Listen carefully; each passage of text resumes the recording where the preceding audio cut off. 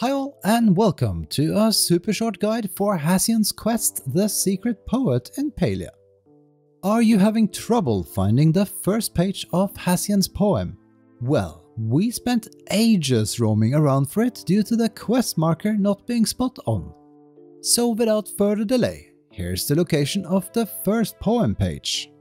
It can be found slightly north of a large tree just before the bridge leading over to the lighthouse.